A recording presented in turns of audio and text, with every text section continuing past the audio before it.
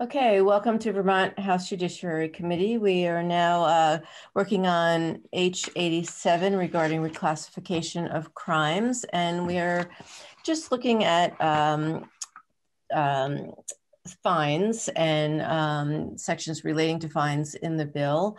Um, I know there was um, small group working on on this issue. I want to thank Representative Donnelly um, and Representative Lalonde. I hope I'm not missing anybody, but I'll turn it over to Representative Lalonde now to um, update us and give us some context onto um, into this this portion of the uh, the bill that we'll be looking at. Thank you.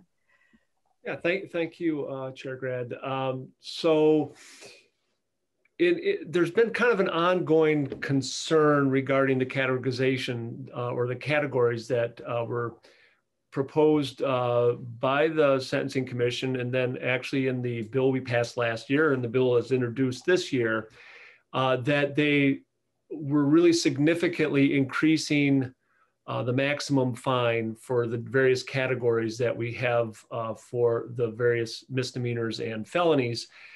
And so uh, we looked at a couple ways to address that. So uh, we met, uh, Kate Donnelly and I met with Eric and uh, chatted about the issue and looked, just kind of looked at where fines were, uh, didn't look at every single crime, but took a look at various crimes to see what the current maximum fines were. And yeah, indeed, our increase of the fines was pretty significant. So what we what we thought was uh, we would try to become more in line with where the fines are currently.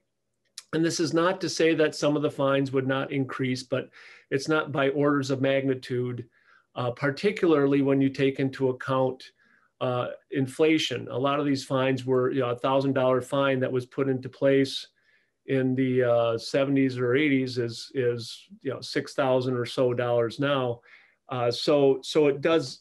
So we're not that far off if you take into account inflation. So we've significantly decreased what the fine levels uh, are uh, in in the proposed uh, categorization.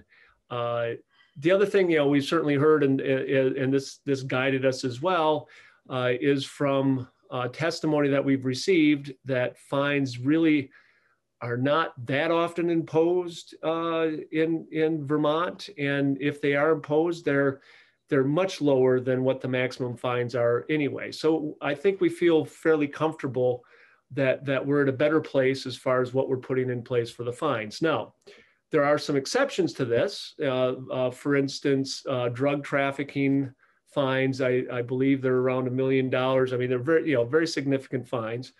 But when we get to those crimes, we can we can have an exception.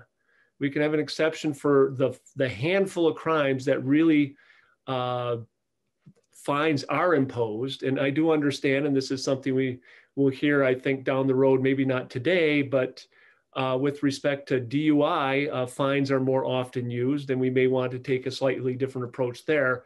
But this bill doesn't address that, and and and that we're left open with being able to in those instances where a high fine is in fact justified and is the right thing to do, we can in fact do it when we get to those particular crimes when we're putting it into the structure. Uh, the other thing, uh, and this was uh, on a suggestion uh, from Judge Zonay that uh, we look at Maine law uh, related to essentially what it would do is codify what we understood from testimony uh, that's already occurring in our courts, which is uh, ensuring that courts, when, when they're considering a fine, to take into account the ability to pay of individuals. So those are the main changes here. I know there, there are a few changes that are in the bill as well that, that we've discussed before, and, and certainly let, let uh, Eric just point out those. I think that nothing really new stuff that we've discussed as far as uh, some of the penalties for, for a handful of the crimes. So with that, I'll, I'll turn that over to Eric for a more official walkthrough. And I'm wondering if Kate had anything to add to that, certainly, uh, but I think I hopefully covered covered that. Yeah, I think it sounds sounds good to me. All right, thanks, Kate. Okay. Um, and actually, Eric, you know what? Before we turn to you, I do see that coach is here. And um, Coach, are you able to register your vote on H133 now? Just so we can tie that up. Yes. Yes, you're ready. too, too, too, too, many. Too, I, I was typing another message to you. Okay. okay. All right. So, Christie, Yes. thank you. thank you. Okay, great. All right. Thank you, Eric. Go ahead.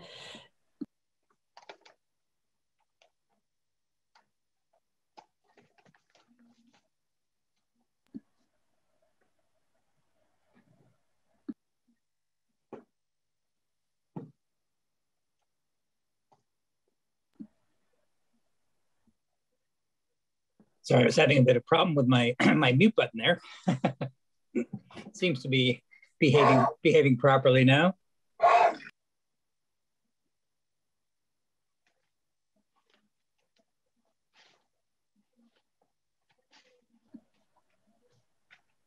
Now I now I mean. All right. Uh, Eric Fitzpatrick again with the Office of Legislative Counsel. Nice to see everybody again this afternoon here to talk a little bit today about uh, H87, um, in particular to look at some of the changes that have been made uh, between the bill as introduced, which the committee has already looked at and which I've done a walkthrough of previously. But now we've got a, a new version of committee strike all amendment that ha has a couple of changes in yellow highlight. So if that's okay with the chair, I'm going to move right to the document.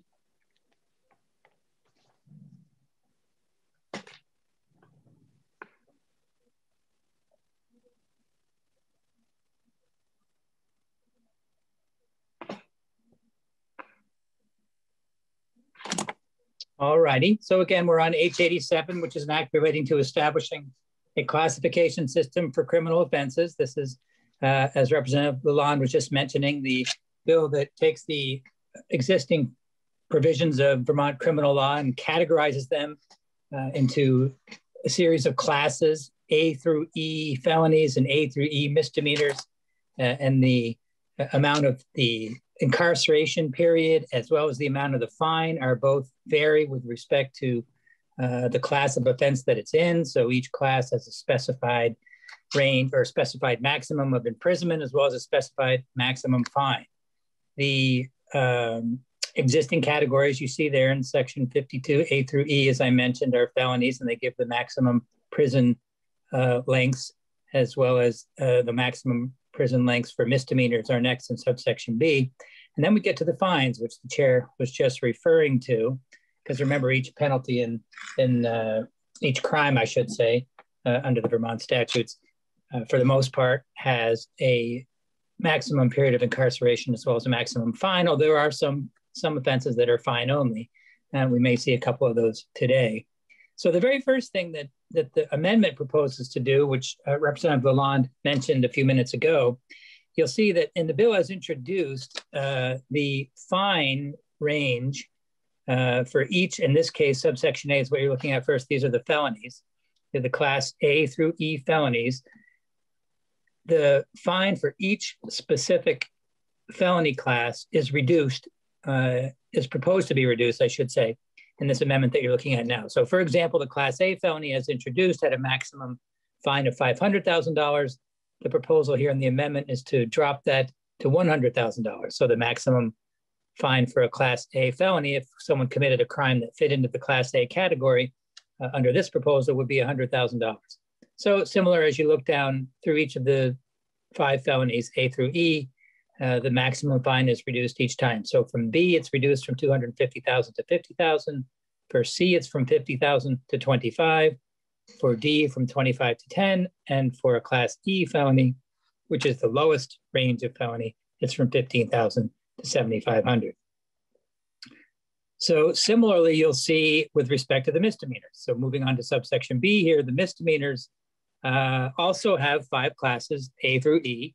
Uh, the proposal as introduced, um, see the uh, uh, proposal for each misdemeanor uh, runs from $10,000 for a class A, and this, this was as introduced, down to $250 for a class E. And there should be a, strike through in the first three lines there, A through C. That's a typo that we're looking at. So the proposal of the amendment is to change the maximum fine for a class A misdemeanor, that's on line three, from $10,000 to $5,000. So the 10,000 should be struck through with yellow highlighting. The uh, proposal for class B is similar uh, in the sense that it reduces it by half. So it's a $5,000 fine in the bill as introduced, but it's a $2,500 fine under the proposed amendment. Uh, for a class C misdemeanor, the $2,500 fine in the bill as introduced is proposed to be reduced to 1,000. So that would be a $1,000 maximum. Now you see for class D and E, those re, the proposal includes um, the same fines as introduced. So there would be no changes to D or E. The maximum for D would remain $500 and the maximum for E would remain 250. So that's the first, there's sort of three real uh, separate provisions of this amendment. That was the first one, a, a overall reduction in the maximum amount of fines for uh, felonies and misdemeanors. So that's point one. Uh, so before I get to the second piece, which is right here, which is the, the, the taking into account of ability to pay when determining the amount of a fine, I can pause for a moment just to see if there's any questions on, on uh, this part one, which is the specific reduction of maximum fine amounts for felonies and misdemeanors. Again, folks, if I'm not seeing your hand, please, please jump in.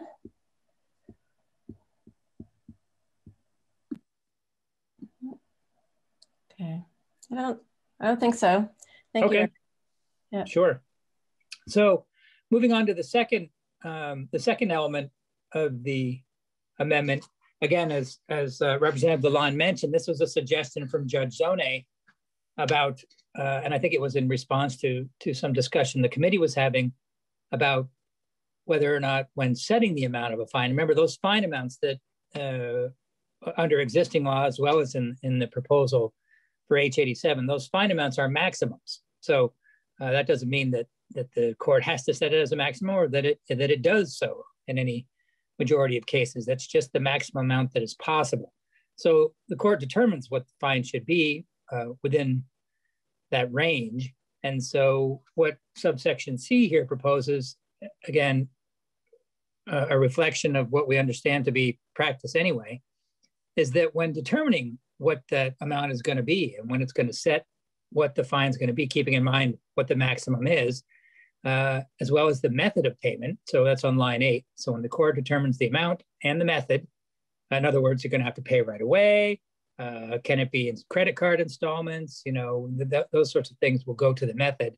Um, the court uh, shall, you see, that's important in line nine. It's not a may, it's a shall. The court shall consider the defendant's present and future financial ability to pay the fine. So it takes into account, the court must take into account uh, the defendant's circumstances in terms of ability to make that fine payment, uh, as well as uh, going on in line 10, the nature of the financial burden that payment of the fine will impose on the defendant and any dependents of the defendant. So what kind of, you know, what ability do they have? In other words, what their resources are is sort of the first clause. And the second part of that is, um, you know, even irrespective of what their resources are, making the payment of the fine will impose what type of burden on, on the defendant and the defendant's depend, dependents. And those factors are required to be taken into account when the court determines what the fine should be for the particular offense. So uh, I should, I should Representative Lalonde mentioned this as well. I think I, I didn't mention it, but this language is, uh, while not verbatim based on a statute that is the law in Maine, it's based very much on, on the language of a Maine law that's in existence right now. And so uh, that's where uh, Judge Zonay forwarded it to me and I used it as the basis for this language. So um, very similar to what the Maine statute provides. So subdivision two um, has to do with the burden of proof. So what happens uh, when the defendant makes an assertion that they don't have the ability to pay? Well, the defendant who asserts present or future inability to pay has the burden of, of proving that inability by a preponderance of the evidence. So it, it falls upon the defendant who makes that assertion to show, and we remember, we've discussed this quite a bit, that preponderance is more likely than not uh, 51 to 49, for example, in terms of percentages, This is one way to sort of visualize it. But more likely than not, uh, if the defendant can make that showing that they they don't have either right now or in the future the ability to pay, um, and they can successfully make that argument, then, then uh, the court can make that finding. Moving on to subdivision three, uh, this is the second sort of piece that the, the defendant can argue, because remember, they can, they can argue not only that they don't have the present or future ability to pay, also that, the, that there's going to be uh, a financial burden on the defendant or any of the defendant's dependents. And that also is something that uh, the court is required to take into consideration by the language in C1. So, so paragraph three says, so if the defendant makes that assertion that the, that the fine is going to cause an excessive financial hardship for the defendant or defendant's dependents, then again, a defendant has the burden of proving that excessive hardship by a preponderance of the evidence. So the defendant has to bring forward some evidence, some uh, uh, indication, some facts from which the court could make the finding uh, about the amount of the fine to impose based on excessive hardship to the defendant. So again, those two pieces are just right out of the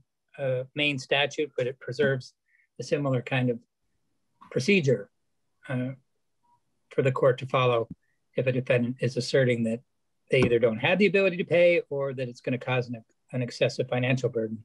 And then the court takes those um, those facts into account when it sets the amount of the fine. So Eric, I, I think uh, Bob. Yeah, Nor- Bob, yeah. Okay. Yes, thank you. Uh, Eric, I'm not saying I agree, disagree with any of this. Uh, like under number two and number three, where it says by a preponderance of the evidence, is that, does that appear in the Maine statutes also? Yes. Yep. I guess I'm a little confused and, and I'm just looking for a little uh, uh, clarification here. I'm assuming when they say a defendant who asserts the present or future inability to pay a fine shall have the burden of proving the inability, I would, I would think, period. But it goes on by a preponderance of the evidence. Uh, I assume they bring in like their, their tax returns or their bills, or could you give me an example of the preponderance of the evidence?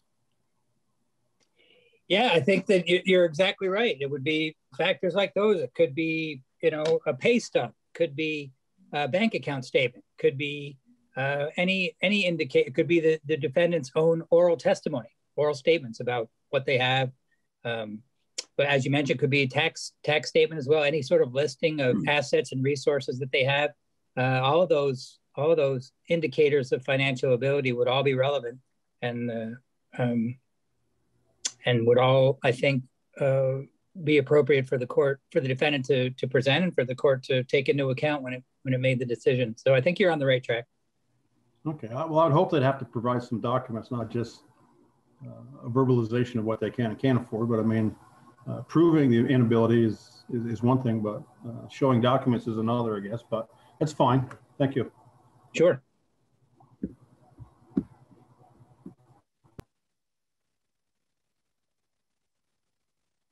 Okay, I'm not seeing any other hands. Oh. Okay. Okay. Should I have move ahead? Please. Thank you. Okay.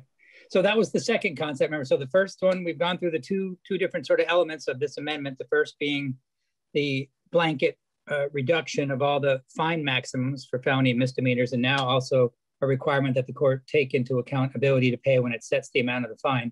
The third piece is really just several individual uh, offenses in which the um, the penalty for remember these are property offenses in which the penalty has been switched from following the the um, the uh, property fine structure, the property penalty structure, I should say. Remember the way the property offenses uh, structure is classified is that it depends upon the amount of property that's involved in the offense. Right? It's sort of uh, there's a scale or a, a step system based on the amount of property that's involved. So the lowest one, if it's less than $100, class D misdemeanor, very low, uh, very low offense. Whereas the maximum, uh, if it's equal to or greater than $100,000, subdivision five, it's a class D felony, which is uh, five years imprisonment, $10,000 fine. That's the maximum. And it ranges between uh, those two, depending on the amount of property that's involved. So for the majority of property offenses, you simply have said, uh, for example, that I'm just picking out an example here. So there's an example right there, lines 13 and 14. Typically, not every time, but typically, uh, the property offenses say, well, the person shall be sentenced per pursuant to, and it cross references those three sections that set out what we were just looking at, that set out how the punishment varies depending on the amount of the property involved, the value of the property involved. There's a few individual offenses in which rather than have rather than follow that structure, remember we went through that whole chart that I put together uh, over the last couple of meetings on this bill, in which we went through each specific property offense and saw which ones followed the structure, like you see in the language that we're looking at right there, or, I'm going to move right to one of the changes now because it's a good example of what we're talking about, or um, didn't follow the structure and instead put the offense within a particular delineated class. So that's uh, the proposal that you'll see here, for example, and this has to do with the counterfeiting paper money statute that the committee uh, spent some time talking about uh, over the last couple of meetings. This basically is, uh, you know, making fake counterfeit paper money and uh, the uh, there was a great discussion about whether that happened in Vermont frequently anymore or not, and was uh, testimony that it does happen occasionally. But the bill, as introduced, you'll see, um, had the penalty provision set up to follow the structure that we just talked about. So this is line seven and eight, the highlighted language. When the bill was introduced, said, all right, the penalty, the, the person, the person who commits this is going to be sentenced under those sections 52, 53, and 55 which means again the penalty varies depending on the value of the of the amount of money counterfeited. So the proposal here is to change that to the Class D felony, uh, which is actually, as I mentioned, the the highest of the property crime categories. It's a five years uh, maximum imprisonment, ten thousand dollar maximum fine. And it's one a very interesting one too. And we talked about this as well. If you look at line six and seven, has this odd 14 year maximum in current law. I have no idea where that came from. You know, usually they're multiples of five. So where the 14 came from, I really don't know. But it is uh, by property offense standards a fairly um, a fairly severe sentence. So I think the proposal here is to go to the most severe of the property categories, which is Class D, the five-year maximum, rather than have it vary uh, based on the amount of property involved, which it could be as low as 30 days, for example. So that exact same thing, a change from the categorization to a class D felony is exactly what happens in two other offenses. And that's that's this third change that we're talking about, just the change to class D felony for three offenses. The first being counterfeiting of paper money, the other two being embezzlement, usually from positions of trust. So here we are, embezzlement by an officer or servant of a, of a bank, for example. You'll see under current law, lines 14 and 15, that's a 10 year felony. Um, under the bill as introduced, uh, it, it had the punishment follow the categories, which again could be as low as 30 days, um, depending on the amount of money embezzled.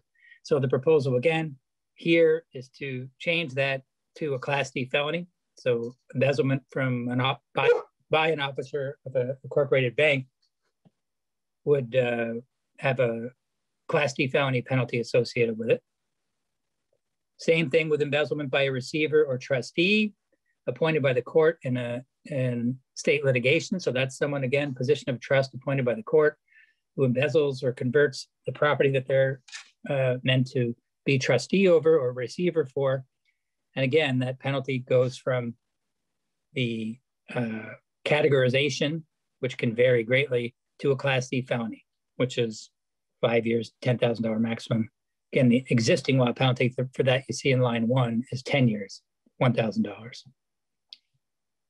And I think that's the last one. I'm just double check, but I'm pretty sure that's it. Um, yeah. And so that will. I think there was one more correction, uh, Eric. Um, yeah. Trying to find that. It, that would have been on around page 30. It's the tapping gas pipes with intent to defraud. Oh, yeah, here it is. Thank you. Yep, thank you, Representative Lon. There it was right there.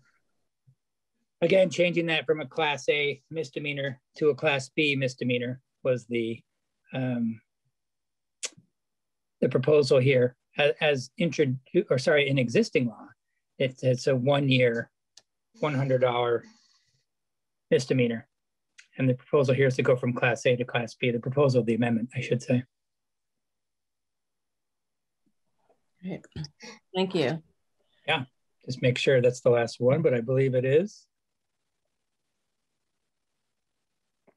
Yep, looks like we're clear. Great. Thank you. Thank you so much. Sure. Okay. Any uh, questions for Eric before we move to our witnesses? Not seeing any. Okay. Uh, Rebecca Turner, you available? Welcome.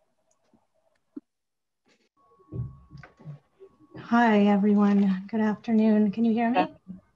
Yeah, thank you. Okay, Thank Yeah. you. Uh, For the record, Rebecca Turner from the Office of the Defender General's Office.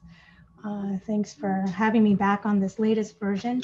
And it's, it's great to see a lot of my um, points that I made during a previous testimony on, on the concerns of this uh, being addressed here. And so uh, I think, I thank this latest version and um, wanted to just clarify, because I, I heard the intro remarks. I just wanted to clarify in terms of the new proposed fine schedule. Uh, I understand that across the board, the fines now proposed are lower on the max.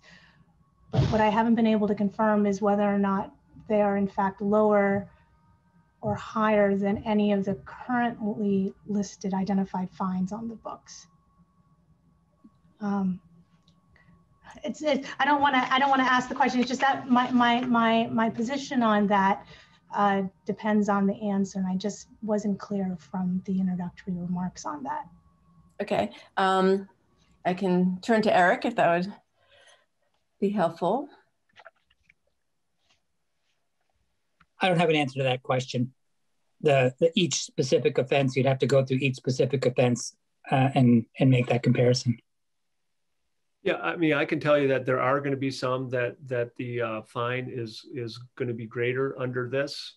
Uh, I'll I'll just give you an example of one that we've just looked at, uh, and that is uh, the counterfeiting uh, law, and the fine there is one thousand dollars, and we're saying that is going to be a Class D felony, which I believe we have that as a ten thousand dollar fine. So there there's definitely an increase there.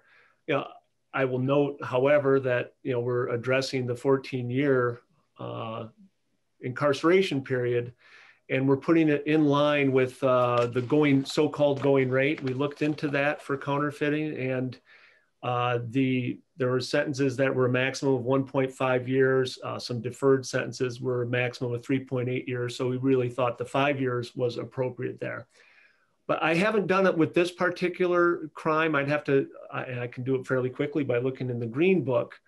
Uh, but if you take into account inflation, uh, we're not that far off uh, for a lot of these $1,000.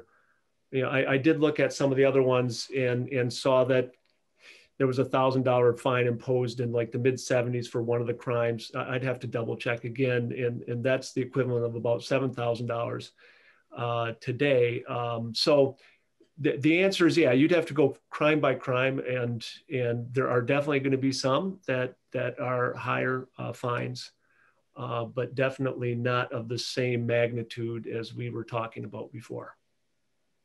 Thank you for that that clarification. So, in response to that, uh, our position would be, and, and this is consistent with the uh, position I made earlier, which is that really there should be a complete uh, abolition of fines uh, entirely uh, for the reasons talked about before. In terms of, of having the effect of any one of these crimes result in an increase in fines, uh, I think that is unsupported uh, based on the testimony we've heard, uh, crime research group. I, my understanding is that, and from the judge's testimonies, the fines being imposed aren't reaching those max limits currently on the books. So to propose new laws increasing the fines, um, I just want to make it clear our objection to that continues. but I wanted to turn and focus my uh, points on the ability to pay new language in the bill, which is really great to see on page three.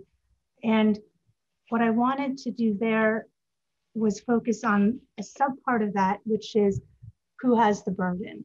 Um, here, as proposed in the bill, uh, language would have the defendant, while, while the court's required to consider the defendant's present and future ability to pay, the reading of this bill indicates it's actually the defendant who has to present evidence of an inability to pay, and not just that, but by a preponderance of the evidence. And I understand that that language is taken from Maine. I quickly took a look and saw that that appears to be true.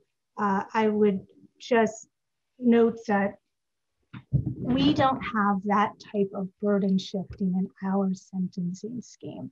And specifically, I look at our restitution statute 7043D, uh, which similarly requires a court prior to imposing a restitution. Again, restitution is part of sentencing, similar to fines. Uh, it serves a different purpose, but again, they're both within the sentencing structure. So I think that is extraordinarily useful for this committee to look at how 7043, 137043 D2 uh, uses language there in terms of requiring the court to, uh, here's, here's what Oh, I had it tabbed here and now I lost it. But it requires the court to make a finding on ability to pay without putting any burden on the defendant. And we have considerable case law developing and reversing trial judges' failures to adequately make findings on ability to pay. And so what we have is um, insight as to how that's understood. And that is that if there is no evidence before the court at time of imposing sentencing on ability to pay, then it's on the state to prove ultimately that there is in fact an ability of the defendant to pay the amount of restitution imposed. And the case law of the Supreme Court has identified certain things that the court can look at. Um, in fact, the statute, I finally have my book out. The statute says offender's current ability to pay restitution based on all financial information available to the court, including information provided by the offender. So that's the, that's the language I would recommend this committee adopt in, um, in this proposed bill. Uh, again, it's currently on the books. We have case law developed, you know, identifying it so the parties know it's consistent with sentencing. Uh, and there, of course, ultimately the court can't make any findings on ability to pay without evidence. Uh, you can look at if someone is has applied for a public defender, um, has shown herself to be indigent, those papers are before the court and are relied on in a restitution hearing. Um, that can be relied upon here. In fact, uh, I would suggest that there should be a presumption of inability to pay upon an indigency uh, determination. Uh, but short of that, certainly the paperwork is directly relevant. I think the, the point I'm making and how our statutory scheme is set up uh, is consistent with federal and state constitutional requirements that provide us some important context to this. Uh, we know that a court cannot impose excessive fines. Um, Otherwise, that would contradict the Eighth Amendment's prohibition against excessive punishment. We have something similar in our Vermont Constitution uh, requiring sentences be proportional.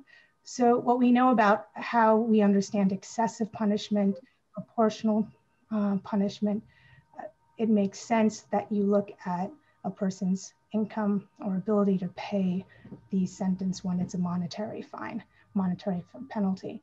Again, if you turn back to who has that burden, the court under law cannot impose a fine that a defendant cannot pay. So if a defendant just fails to bring in the paperwork on the latest income stubs, that doesn't absolve a court from imposing a fine that's not excessively um, in, in, excess of his ability to pay. So I just would suggest striking that language on page three. Um, that would be C2 um, and C3. I think that's right. I think that's Do you mean striking that entire, those uh, C2 and C3 in their entirety? I think, yes, uh, let's see, his C2 and C3 talk about the burden there. What I like about 2 or C3 is that it, it points to considerations of, of uh, the dependence of the defendant, right? And that, that's a great, great thing to see. I wanted to share that while Judge Zonay pointed the committee to Maine, Texas has a similar statute requiring a judge to find ability to pay, uh, and they passed that in 2017. And I can give the uh, link, but for the record, it's SB 1913. There, in their legislation, there's no burden on the defendant uh, to produce an ability to pay. And they produced a bench card and again listed some useful things to look at, but also to consider, not just limiting it to the dependents, but um, there could be other family members, just essentially broadening the potential relevant factors that a judge may consider to be hardships in a particular person's case. So to the extent that three suggests those are the only things that, uh, that a judge can look at, a defendant's own personal income requirements and then the defendant's own dependents, I think that's an unnecessary limitation. And there are examples out there of what are proper and more expansive to give the full uh, picture of what financial hardships are involved in that person's life.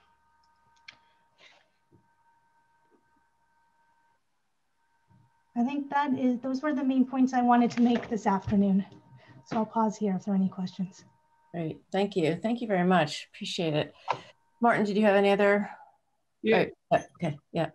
Questions. Um, so I just want to make sure I understand this as well. So does it matter if um, there's been in indigent in sorry my indigency uh, I'm, I'm saying that wrong for some reason uh, the, the determination that is made going into the case does it matter if that uh, is has been made before you determine whether to have the burden of proof on an individual or not uh, are you saying are you asking that question in the context of restitution well, no, no. In the context of uh, of this of this uh, bill that we're talking about in this provision.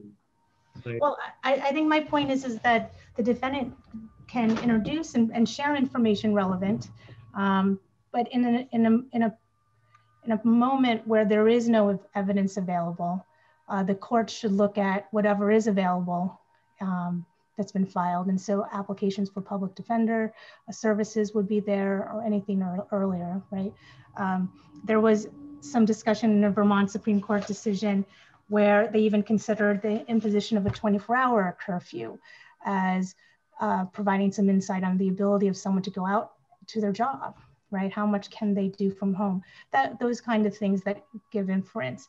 Uh, but no, I think that if the question is, should is there a way to leave the language imposing a burden on the defendant in the in the bill? Well, yeah, let me say. I mean, if if the if the defendant hasn't been deemed to be indigent, uh, should there be a burden on that individual to show inability to pay? Yeah, I understand if there's been an indigency uh, uh, determination before that that that presumption should be the inability to pay. Mm-hmm. Um, but I, am just wondering, maybe, maybe that's making too fine a point of it. Uh, I understand. Well, I, and I, I, think I think the, the, the bottom line is that a judge has to rest its ruling, uh, his rulings on some evidence, and so there has to be some evidence in the record to find if uh, if the defendant doesn't provide evidence. Uh, then the state has to provide evidence, and that's certainly how it plays out in the restitution proceedings. Again, who is seeking the punishment here? It's the state. So it, for the state to support its request for the fine to be relevant here appropriately, it's, it is a natural place to turn to in terms of where there is no evidence before the judge to make this ruling and the state is seeking a fine imposed of a certain amount and the defendant had there's no information before the court and the defendant is not going on the stand or providing anything. And it is on the state to produce some evidence to support that. uh, amount. All right, thank you. Yeah. Okay, seeing anybody else? Okay, great. Thank you. Thank you so much. Okay, thank you. Um, I do see that Judge Treadwell is here, and I just want to um, see if you have any time constraints, and um, if you if you'd like to to go next, I to give you that opportunity. I have no time constraints until four o'clock, so I'm happy to fit into the committee schedule um, wherever that works best. Okay. Um, well, why why don't you go ahead? I don't think we'll go that late, but why don't you go ahead just in case? Okay.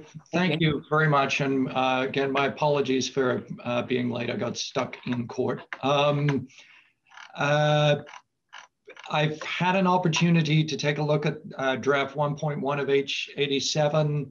Um, I, I, caught the tail end of um, Attorney Turner's um, presentation.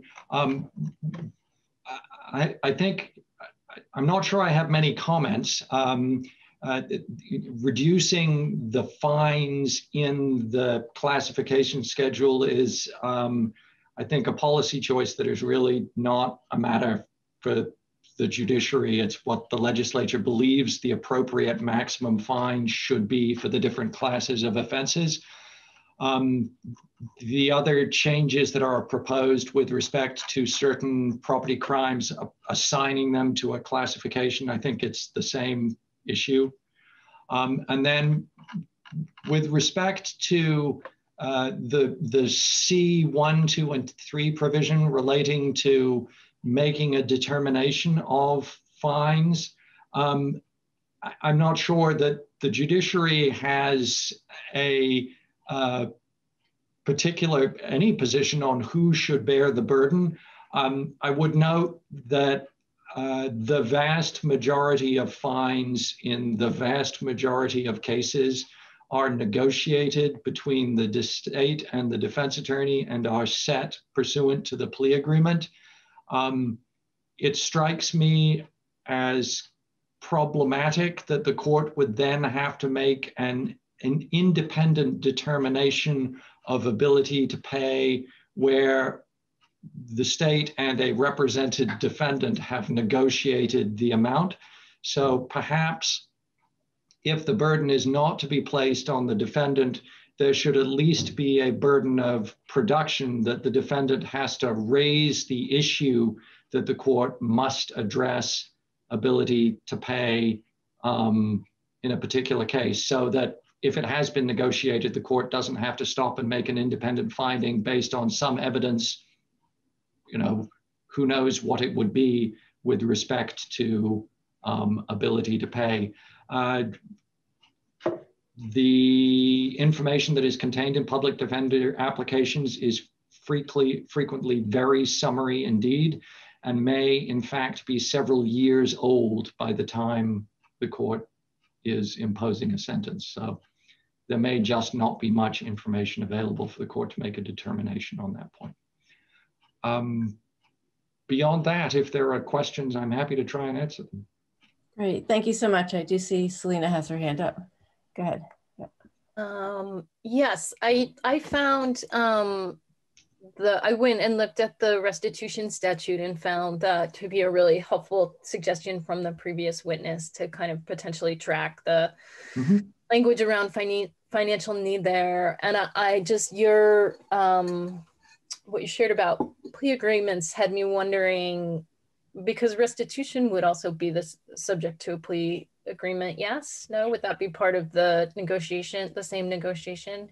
It's sort of separate and distinct. The court is obligated by statute to consider restitution in any case where a victim um, experiences a material loss um, the the practice is that from my experience is that there frequently is a negotiation between the parties in preparation of a separate restitution judgment order re relating to payment of restitution. And there is frequently um, agreement between the state and the defendant as to whether the defendant has, in fact, an ability to pay. Um, when there is not an agreement, the, um, the, it, it can make setting restitution quite complicated uh, because then um, you, frequently orders have to be issued requiring disclosure of tax information and things like that, in my experience. Okay, thank you. It's helpful. Uh, Ken. So let me get this right. So it's really not the courts. We're, we're changing these fees and the, and, uh, and, uh, re-summarizing all the, uh, the laws or whatever it's called, but it's really not the courts that's doing it. It's really done before you see it. So um, in the vast majority of cases, and I'm sure someone from either uh, the Attorney General's office or the Defender General's office has the current figure, but I think it is far beyond 90%. But in more than 90% of cases, there is a plea agreement entered in the case between the parties that actually the parties agree to the sentence that the court will impose. Um, so the court is not making an independent determination of the sentence to be imposed in the case beyond determining that the agreed sentence is in fact in the interest of justice. Did that answer your question? Uh, maybe, but I'm going to ask another one. So the this this reclassification and this money, everything that we're we're we're doing right now, really, when you're pass down your judgment, really is following these new guidelines of what we're trying to pass here. That makes sense. Yes, um, I, you know, classification completely um, reorganizes the way uh, criminal penalties and punishments are assigned across Vermont's criminal statutes. Currently, the way it is done is that each separate statute has its own separate penalty provision that the legislature has enacted at a specific time. What this does is it creates a classification scheme and sorts all crimes into uh, classes A through F, misdemeanor and felony, and then the legislature can decide where specific crimes should go. What the classification does is it sets the maximum penalty that could be imposed as punishment, uh, whether that is negotiated between the parties or imposed by the court at a contested sentencing. Okay, thank you. Uh, Martin. Yeah, I, I just want to follow up a little bit on what uh, Selena was asking about as well. And and just looking at the restitution law and looking at what we have here, certainly uh, in this proposal, it, it does spell out a, a burden of uh, proof there. Uh, it doesn't in the restitution. And I guess the question I would have for you, just to, to make sure I really understand this, is if that if we did not have uh, C2 and 3, which is where the burden is placed, and we only had the language in C1, it seems like that's pretty close to just what we have in the restitution law. And how would that play out? I mean, what what does that do as far as what a court's consideration would be? And maybe you've already answered it by talking about what happens in the restitution law, but um, so as I understand the Vermont Supreme Court's restitution decisions, the court has determined based on the language in the restitution statute that the court must find an ability to pay in order to order restitution. Um, and uh, the, the burden on establishing the ability to pay is effectively on the state. Um, if C2 and C3 were not included and it was just C1, that would arguably leave open the question of who has a burden. Um, and I, I, it would be subject to litigation as to where the burden is assigned and how it is assigned. Um, as I understand it, the court cannot impose an excessive fine, and the court also cannot, um, the court must consider an ability to pay um, when seeking to imprison a person for failing to pay. And that most often comes up not in the fine context, but in the context of failure to pay child support. Um, it, it's not clear to me that that necessarily requires that the state bear the burden in all cases. All right, thanks. Thank you. Thank you. I don't think I'm seeing anybody else. No. Great, thank you. Thank you so All right. much. Good to see you. Thank Appreciate you very much. Always happy to help out. Great, thank you. Take good care. Um, okay, James Pepper. Okay, thank you. Good Uh, for the record, James Pepper from the Department of State's Attorneys and Sheriffs. Um, so I will go through the bill, uh, H87 draft 1.1 section by section, starting with the fines. It sounds like that's probably the most, um, you know, relevant uh, for today's conversation. Um, the bottom line for the state's attorneys is we've supported more consistency in the fine structures as opposed to the more ad hoc approach that's used to developing fines currently. Um, but we don't feel strongly one way or the other, given the kind of historic use of fines. Um, and keeping in mind that uh, judges already are considering ability to pay, um, you know, and not imposing excessive fines. I I don't see I don't see section C two or three as an inappropriate burden shift um, because already at this point um, the state has proven all of the elements of the crime beyond a reasonable doubt and that this is an appropriate legislatively imposed penalty. Um, but that being said, um, it doesn't seem like section two or three actually add all that much to the conversation. Um, and I don't necessarily believe that they need to be in this bill at all. Um, um, you know, I, I think about kind of some of the other instances where courts consider ability to pay restitution, certainly one of them. Um, there's a in forma pauperis where the courts can consider waiving fees um, based on ability to pay. Um, that has certain criteria that could you could look at. Um, you know whether someone is on federal assistance for um, for food or, or housing, um, whether someone falls behind a certain percentage of the poverty line. But honestly, just I think having the courts consider ability to pay like they do in bail determinations, um, spelling that out, I think is the important thing. Whether someone wants to prove it, you know, by a preponderance or not, I, I just I don't see that as being really essential to the conversation. Um, what I like about considering ability to pay is that the court's considering it is it can cut in both directions. I mean, essentially, you know, for people that can pay and see, you know, fines kind of just as the cost of doing business, sort of, you know, with, for instance, like speeding.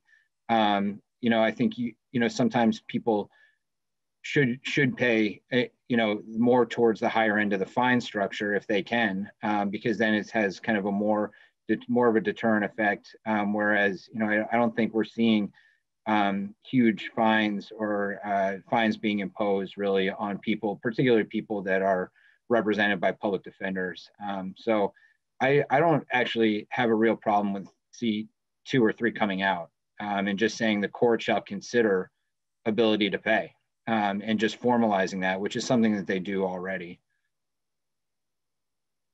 Thank you. I see Ken has his hand up. But but again, the the deal is made before it gets to the judge, right? And then the judge is just agreeing to what the what the deal uh, what what the what the deal was made between the defendant and uh, stuff, correct? In the uh, in the vast majority of cases that are resolved by plea agreement, right? But of course, a plea agreement has to be approved approved by the judge, and the judge could at that point consider ability to pay. And does the judge, so I mean, this isn't a question for you, but does a judge usually override the plea deal? Uh, pr pretty in infrequently. Um, if there's something, if it looks like a miscarriage of justice uh, for one reason or another, or if a victim hasn't been consulted properly um, and had a chance to, to weigh in, uh, a judge might halt a plea deal or um, uh, just ask for something different, but it's very infrequent for a judge to override a, a plea deal. Okay, thank you. Uh, Martin. Yeah, I, I guess um, I'm still looking at uh, the restitution language as well, and it seems to behoove us to have the language for the fines and the language for the restitution, or the concept, I should say, be equivalent because I could see that someone's unable to, you know, if we put the burden on the, if we put the burden on the defendant in one and not the other, uh, it could end up that it's determined that the defendant has to pay one and not the other. I don't know if that made sense, but but I, I think there's just there makes it seems to make some sense to me, and I guess if you could comment on that to have these uh, at the same level as far as restitution and fines? Just have different standards. It bothers me at least. I don't know. Maybe, maybe it doesn't bother you, but it's. I guess I would want to go back and really look at the restitution restitution statutes. I, I, you know, I just I don't know how much uh, really information we would have about a person's finances uh, the state would have in order to meet this burden. So I would, I mean, I just assume really just take it out. Um, you know, if it's going to be a burden on the on the state, um, I don't, I don't really see that us the state really meeting that burden. Um, you know, if someone had again like for a public defender application, it's it's really just kind of a, a sworn statement that, that you don't have the that you meet the criteria for public defender eligibility. You know, no one's really investigating whether those are accurate or not, and no one really has the real ability to do that. So to me, this is, you know the whole idea of, of the burden of proof here, um, it's it's I don't think it's just very useful to the conversation, um, especially considering how infrequently fines are imposed. All right, thanks. Thank you. Anybody else? No. Okay. Great. Well, thank you. If you had anything else to add or? Oh, I, I mean, I, I, I don't. I mean, I had comments on the rest of the sections, but honestly, you know, they're they're all, you know, I think this this draft is uh, in better shape than the prior draft. I think it, it um, so we're and we were so I don't really have much more to add at this point. Okay, great. Well, thank you. Appreciate your testimony. Okay, um, David Scher, welcome. Thank you, Madam Chair. For the record, David Scher with the Attorney General's Office. I don't actually believe we've testified on this bill yet, and I'll just say for the record that the Attorney General's Office does support this legislation. Uh, we think it makes sense to make the uh, penalties, including fines, more consistent across the board, and also to have a um, uh, a bias in this legislation towards reducing penalties is appropriate and bringing them more in line with actual sentencing practices. Um, again, is an appropriate policy outcome that we support. Um, we supported the legislation that uh, encouraged the production of this bill uh, through the Sentencing Commission, which did put the put a finger on the scale towards uh, reducing penalties in the direction of consistency with actual sentencing practices. So uh, for all those reasons, we do support the legislation, think it's a good move forward. I'll, I don't have a lot to say on the current draft. I think it is looking in good shape. I know that the conversation today has mostly been about the fine issue. I largely agree with uh, Attorney Pepper with respect to the practical impact here. Um, the vast majority of cases that go through our system uh, are public defender cases, meaning somebody's very low income, um, lacks the ability to pay for an attorney, is around the federal poverty line. In very few of those cases would you see a fine as part of the ultimate penalty. Uh, they just aren't used that often. It's not a big part of our criminal justice system and our penalties in Vermont. You may see a little more often in certain contexts like DUI cases, which tend to span the socio- socioeconomic spectrum in a way that you see less of for other uh, types of offenses uh, as, as they're prosecuted anyway. Um, I think that the more important uh, fine, or I should say, cost assessment that's being imposed on defendants is actually the restitution scheme, which is a scheme that attempts to make victims whole. I think that that process is really the important one when we think about assessing costs on a defendant. Um, and that system, I think, is is well established and working well. I don't. I certainly think that this is a good idea. New subsection C is a good idea and support it.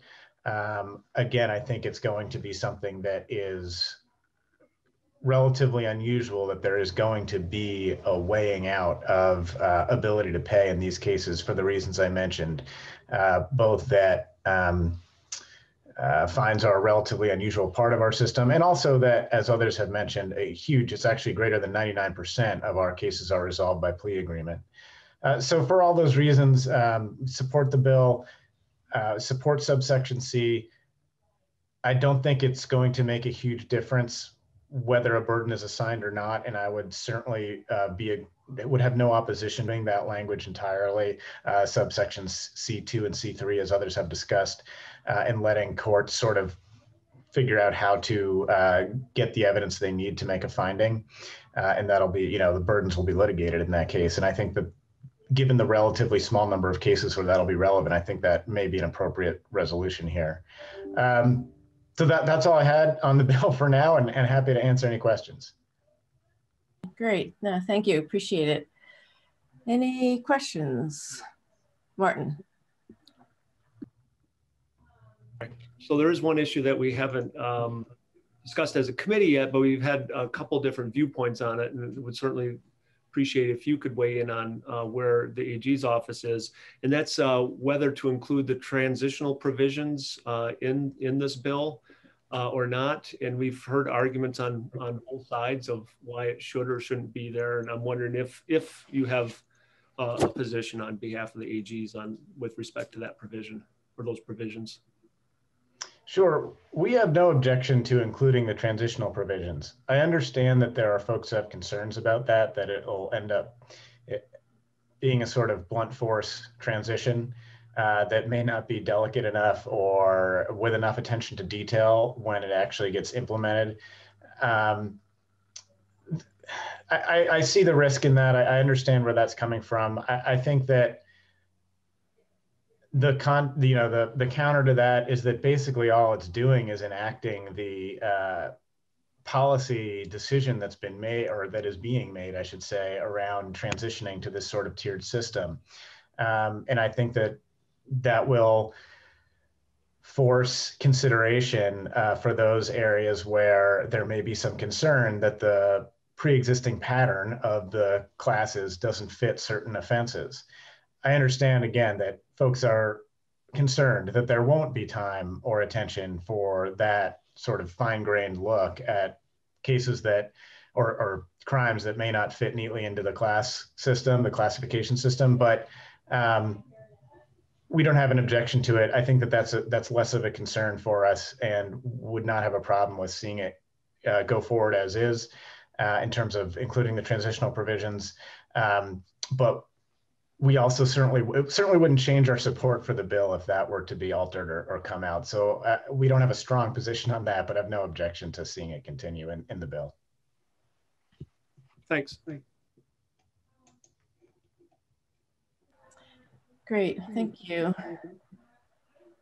I'm not seeing anybody else. Okay, great. Thank you. Thank you, David. Thank you. Appreciate it. Okay, so we we still do have a little bit of time on this. Martin, do you want to start some Yeah, yeah. Question, uh, Yeah, I mean, I certainly, I understand this is uh, up for discussion and possible vote tomorrow, but certainly if there are any uh, areas of concern or suggestions that we can put into um, hopefully the final draft uh, for tomorrow, uh, my inclination, uh, given the testimony from everybody we've just heard from, is to is to strike uh, subsection C2 and C3 on page three.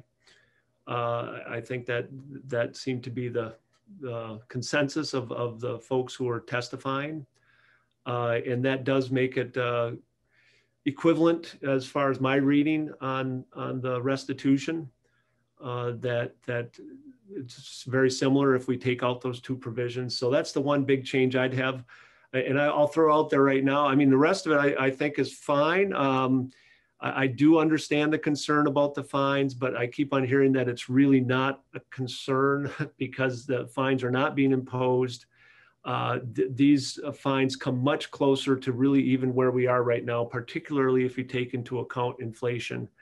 Uh, so uh, that that doesn't concern me, and particularly since we're adding this language, and it's a it's a give and take. I mean, we're we're significantly addressing the situation uh, with respect to incarceration and uh, really going towards the so-called going rate, actual sentencing practices uh, with respect to incarceration. So I think this does a lot of good, this bill overall.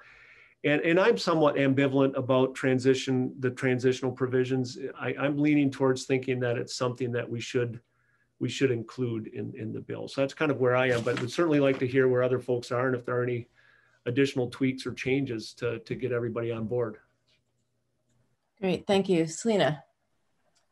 Um, yes, Martin, agree with you on um, the removal of the evidentiary burden sections around ability to pay. And I, I think I'd further suggest um, in line with the Defender General um, suggestions that we really track the language oh, I feel like, oh, there you are, Martin. Sorry, my just tile rearranged and I thought you dropped off. That we track the, um, maybe think about even tracking more closely to the restitution language, which does, it has a little more detail on process, I think. Um, and then I guess I, I um, hear what you and other witnesses have said about the fines and I guess the counter argument or question to that is like, if these fines aren't being opposed, why would we raise them for any crime? And um, I, I, I understand they're rarely utilized, and it also seems to me, and you know, reading and continuing to read and learn about the criminal justice system, that that fines and fees are some of the things that keep people trapped the longest sometimes. And so I guess I'm just I'm trying to wrap my head around raising the pos- poss- possible maximum fines. Like I think the argument they're not they're not being imposed works both ways. Um, happy to hear your thoughts on that, Martin, or anybody else. You know, I, I appreciate that, Selena. Uh, yeah. No, Martin, you. Oh, um. Well, actually, let let's uh, let's hear from Bob. Uh, thank you. in listening to what everyone had to say in reference to the fines and restitution and so on and so forth, uh, the bill is proposed. Uh, personally speaking, it looks fine to me. I think we need to keep in mind that the fines have gone down considerably. And this is only something that the judges could impose on a defendant. And we've talked about the ability to pay and not to pay. And if they do have the ability to pay, then that's why I think we need to still look at these fines as keeping them where they are so that they could impose those fines that for those individuals who do have the ability to pay. As far as sections two and three goes, I don't see any problem with uh, removing them uh, because basically in C1, it already assesses that the court shall consider the defendant's present and future financial ability before they assess a fine. So two and three seem to be a little bit redundant as far as I'm concerned. So I think if uh, the proposed fines, lowering of the fines, elimination of two and three, and personally, I don't have a problem with the bill as, as it's written. Yeah, thank you. Uh, Martin? Well, yeah, I, am just kind of trying to go through and looking at uh, where the fines are. Um, and yeah, I think, yeah, there's the possibility is that some of, yeah, certainly a number of them would potentially ra- uh, be raised at least as far as the maximum. And, and, and more often than not, it has to do with the fact that it might be in a tiered system of the, you know, how much of the value of the property involved uh, in certain circumstances. When it's a higher property value, the fine could be uh, higher. Uh, the, the cap uh, for the property crimes at this point, uh, to make clear, is $10,000. There's no, we, we don't have any well, I'll take that back. I think we have a couple uh, Class C felonies that we have in here, if I'm not mistaken. Um, but other, most of them are not. Mo most of them are, we're talking about Class E or Class D felony at the outside. You know, if the value is $100,000 or more of property taken or destroyed.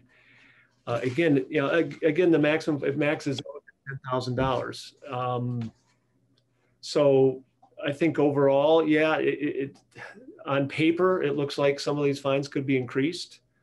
Uh, again, I will also suggest that we're not that far off if you look at uh, the inflation rates for when when these offenses and fines were put on the books. And again, I haven't looked at all of them.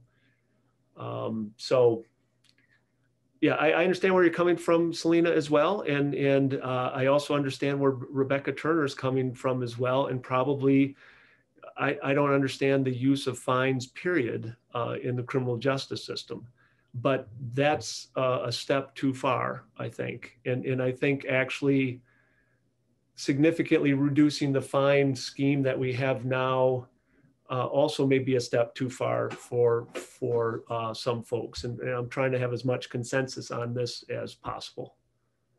But I understand where you're going. And, and you know, do we further reduce these? Uh, I'm ambivalent, but but it's it depends on where other people are.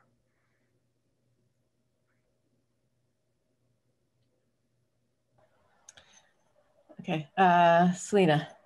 Yeah, I think my question and and maybe it's just I mean I I imagine it, you know, would there's a heavy lift just to determine it, but in the in the new version of the bill, where are the instances and how many of them are there where we've potentially raised the maximum fine?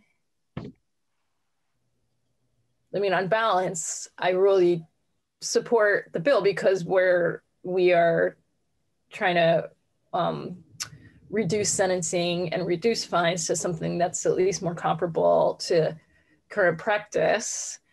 Um, and you know and at the same time eliminates some of those outlying like potential maximum um, potential maximum so i i think the bill you know collectively is it is a net gain in that way um, but I guess the, the devil might be in the details of where are the places where we've, you know, there's a handful of places I think where we've we've put raised the potential maximum sentence and to what extent have we done that for the fines? And I think because this version of the bill is so new, we don't have a perhaps don't have a ready answer to the degree of occurrence there.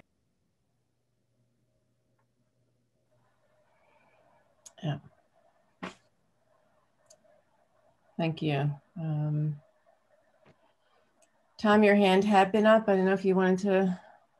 Yeah, uh, I did take it back down, but uh, but I think I'll go ahead. Um, it, it's just kind of going through my mind that it, you know, my own opinion, I guess, that it, it doesn't really matter what the upper end of the fines are um, in a sense. Uh, and the reason that I say that is that uh, the people who can't afford to pay it aren't going to be paying that anyway.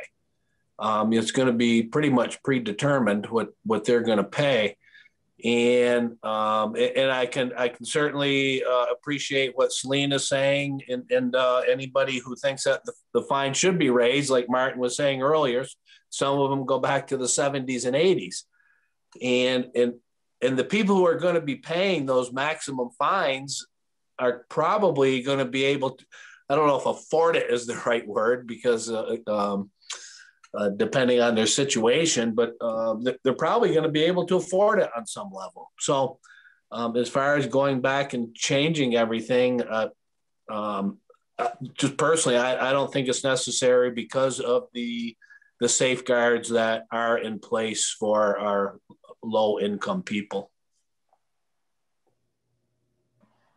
Thank you.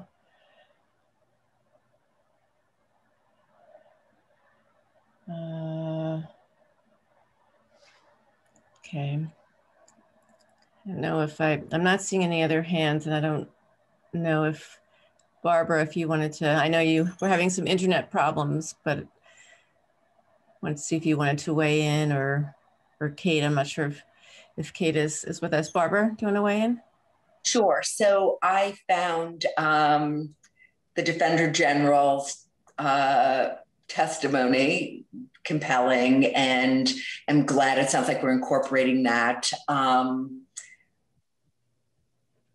I guess if I had a preference, it would be to not um, have any fines go up, even though it's the going rate in other states. And I do understand that. But, um, and there's the caveat about ability to pay. But in some ways, I'd love to see us move away from fines as a solution. Not that I have a great solution because I don't like incarceration, but um, I I'm not persuaded by the going rate.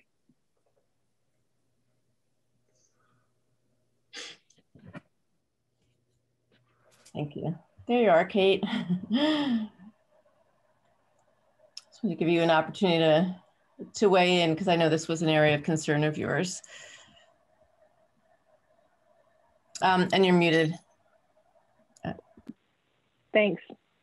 I had double protection. My phone and computer are muted. Um, yeah, thank you. I I appreciate um, the committee taking the time to to kind of double back around and and reflect on the fines. Um,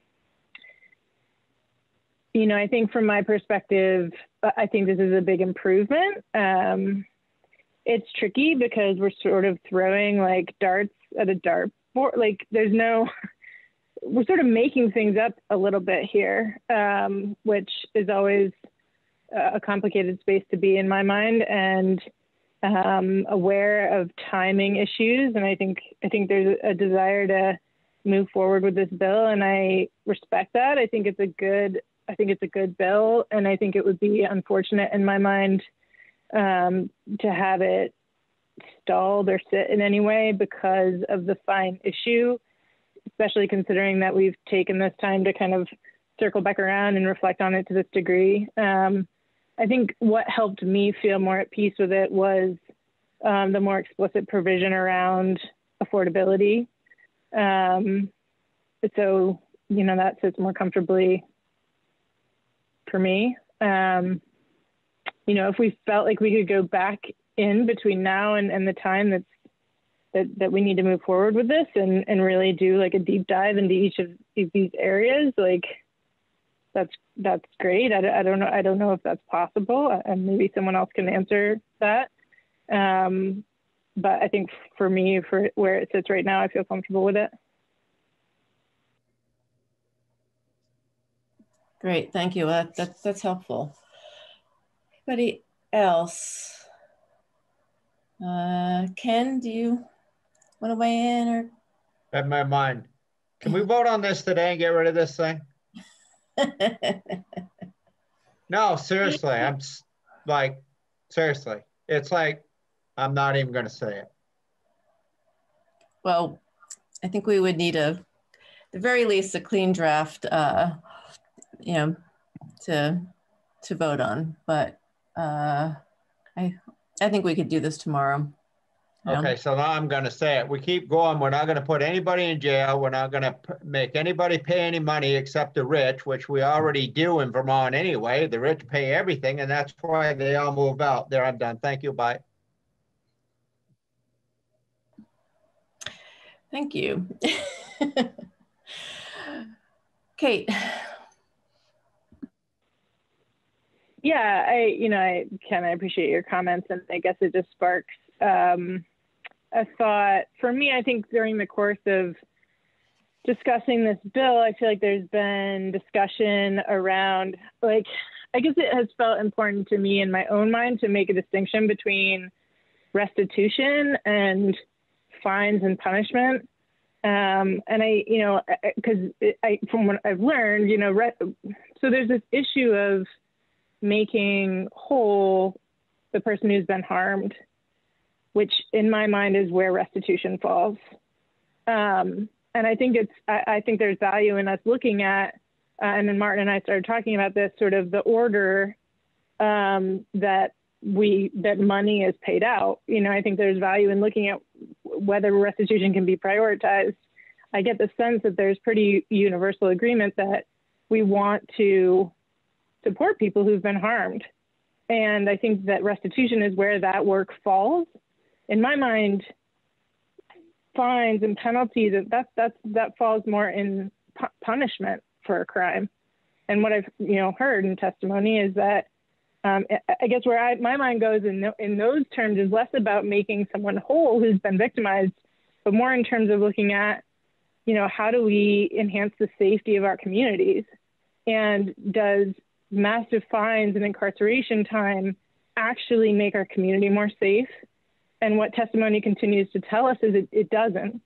And so I think, you know, it's, it's in my mind, this kind of bill is trying to strike a balance of you know, honoring the needs of the people who've been harmed, but also trying to honor that our criminal justice system is imperfect and that some of the methods we've used to try to punish people into behaving differently have not been effective and have inequitably impacted certain people. And so I guess I just wanted to name that, that as we talk about this bill, um, or, or maybe stop talking about it as we might want to do, um, that we just make that clarification, or it's important to me to make that clarification between how we're honoring the needs of those who've been harmed and how we're essentially, you know, acting upon those who have done the harm.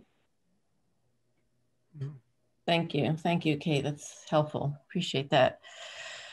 Uh, Ken, your hand is up. So I'm just going to make one more statement. If you've ever been the victim, like I have on some of these crimes, you never forget, you never basically forgive, and certainly what it does to your family. And therefore, I'm not near as forgiving as as a lot of people. I don't mean to sound cold-hearted, but never forget the victim because most of the time it just doesn't go to the dad of the family, it goes to the kids and it stays with them for the rest of their lives, the victim of somebody that makes a bad mistake and hopefully they turn into good people the rest of their lives. But I got news for you. There's always going to be bad people out there. And I'm now finally done. Oh,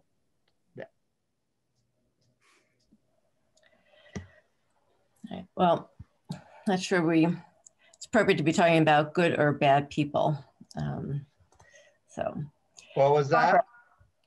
No, I'm not sure it's appropriate to be talking about good or bad people sometimes. You know, well, I, I don't, I don't, I don't know the proper words to use, but people that make mistakes and don't make mistakes or, or however you want to put it, that's what I'm saying. You know what I'm saying? They made a mistake, but still it's a victim that's dealing with that that had their lives turned upside down or an invasion of privacy or something like that. That's what I'm trying to put out there for for for people to keep in mind and basically to be on record.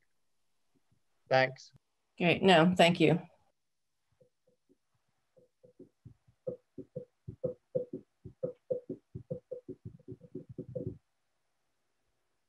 Oh, Barbara. Sorry, because I was muted. So maybe I should not take your bait, Ken, but I do think that if we said, let's start, you know, we're getting rid of leeches and we're getting rid of um, I don't know, some other treatment because so what are we going to do with cancer victims? We, if we look at the evidence, neither incarceration nor fines are great deterrents. Maybe there are other reasons to do it, but it's a lot of money to, to do all of these things. And when we look at why people commit crimes, a lot of cases it's we'd be better off really using the research and getting at the root of the problem rather than continuing to do things that are expensive and don't make our community safer, cost a lot of money that people have done, and um, don't bring back the. I mean, I love the reparations, but if it's someone who's murdered, and I have had a relative murdered, it doesn't bring them back, you know? Thank you. Uh, Martin. Yeah, I, I, can't help but just jump in here a little bit because it's it's actually going to the core of what we have the criminal justice system for. And, and Ken is naming one of the primary, uh, in fact, reasons, and that's ret, uh, retribution. And, and that is something that historically has been part of the criminal justice system, as well as uh, deterrence, as well as protecting public safety by uh, keeping people out of the public who are really actually dangerous uh, uh, to the public, uh, and and also uh, re, you know rehabilitation as well. But but go, going to the concept of, of evidence and such that I think increasingly there are there are studies that show the concept of retribution uh, that victims are more likely to get some sense of satisfaction or closure through a reparative uh, justice system. And there are studies that go there. It's, uh, but nevertheless, you know, I, I do recognize where uh, where Ken is coming from, and that that is historically that is something that is part of criminal justice. That's not necessarily should be the primary rationale for what we do. I think it's keeping the public safe, and it's and it's uh, you know, the reparative components of it. But in event, uh, I just wanted to name that.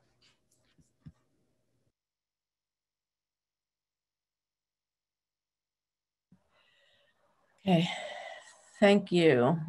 Anybody else? Barbara's hand is probably up from, yeah. Okay, well, we're five minutes from adjournment, and this is on our agenda tomorrow. Um, Martin, do you want to work with Eric in terms of the next uh, next draft? Uh, yeah, I, I, if with Eric here right now, I'm I'm not sure if uh, Eric, if uh, there's something else from what uh, Selena said that could be incorporated from the restitution.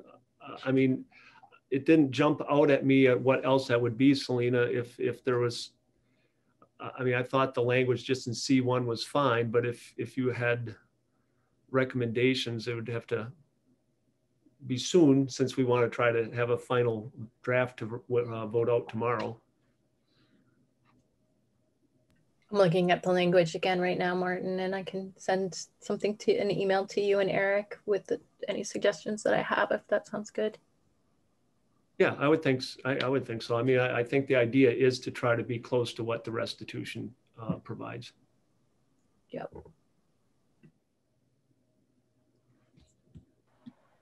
Okay, great. Eric, is there anything that you need from from us? No, I think as far as I can tell, it's just that last little piece that um, Representative Colburn and Representative Lalonde have just mentioned about some parallel language with, I assume you're looking at 7043, 7043. Is that the language you guys are looking at? 13 BS. Yeah. Anyway, um, yeah. whatever, whatever language you feel like you want to add, just uh, yeah. let me know and I can do it.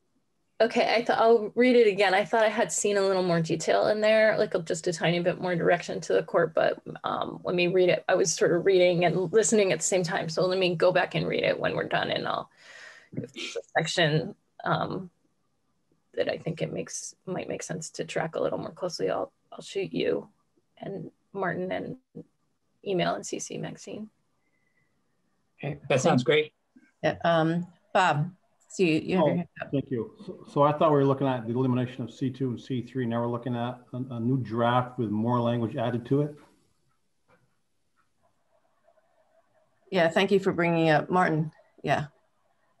I, I think that, yeah, and, and I, I'm assuming just from my quick read of, of the restitution language, uh, that it's really tweaking. It's not anything really significant. But if, you know, if it's not something that folks want to go with, you know, then we won't go with it. You know, we'll, we'll have a, you know, it's not, you know, we'll have a chance to look at whatever that is uh, tomorrow and, and have a discussion to see if folks are still on board or not. But I don't think from what I, my quick reading, eh, that there was really, it would significantly change what we have in C1 right now.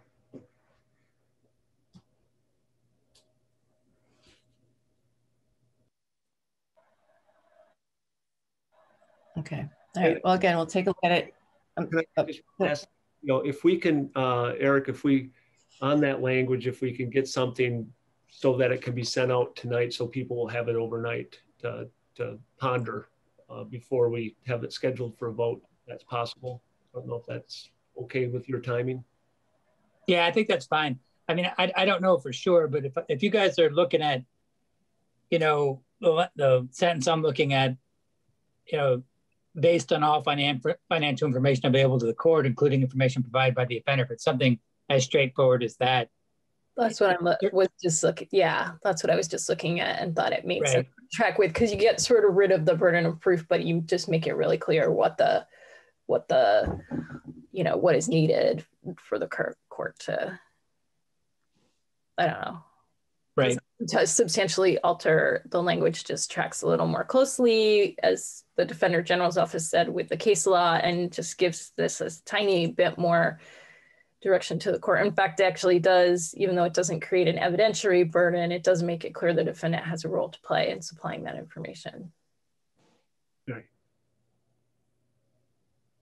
So yes, uh, as your response to the timing question, though, yeah, that's no problem. I can certainly get it out to folks tonight. And um, I'm in Senate Judiciary on uh, firearms issues tomorrow morning, uh, so I won't be available, but I can certainly get the draft to you guys so you can all look at it.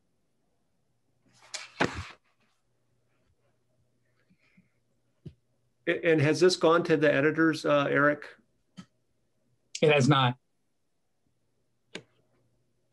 But the the only uh, there's very few changes between the bill as introduced and what you're looking at now. So I think they'll be able to move on it pretty quickly. All right, thanks. Yep. Uh, Ken. Hi, I'm back. So you're gonna change this bill, you're gonna make another draft of this bill? Is that what I'm hearing?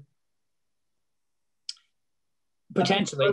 A, a proposed draft, yeah, incorporating um, some of the uh, the comments and uh, discussion today. We have to see a new draft because we're eliminating C2 and C3 anyway. And so it's a matter of clarifying C1 by this language uh, that you can find if you uh, look on the Vermont uh, statutes online at 13 VSA 7043 subsection B2 is the language that we're talking about. And it's just one sentence essentially. Uh, to clarify what the court is basing its determination on under C, under C1. But Ken, yeah, we have to have a new draft anyway because we're del- eliminating language from what we looked at today. martin i think it's subsection d2 Oh, I'm sorry, D. am i wrong about that Oh, that's right. okay i'm just making sure we're looking at the same thing So I don't, if that's where you're going, I don't need to actually send you an email. I think we just did. I think that would be my recommendation. Okay. So should I just do that or do you, or do we need to, do you want to further discuss that, the two of you, before I go ahead and just rework that paragraph, take out two and three and essentially fold this sort of language in? I think send it to Selene and I, and I'll, I'll certainly turn it around real quick. Okay. Yeah, I can I can keep an eye out for it if you want, but that's I mean, that's all I'm suggesting is just to track a little more directly to that provision. Yeah. And that, that seems to make sense. Um, and it starts to um, add continuity uh, to both sides of the discussion. Right, I think so. Thanks, Selene. Yeah, thank you. All right. Well, thank you, everybody. Thank you, Eric. Uh,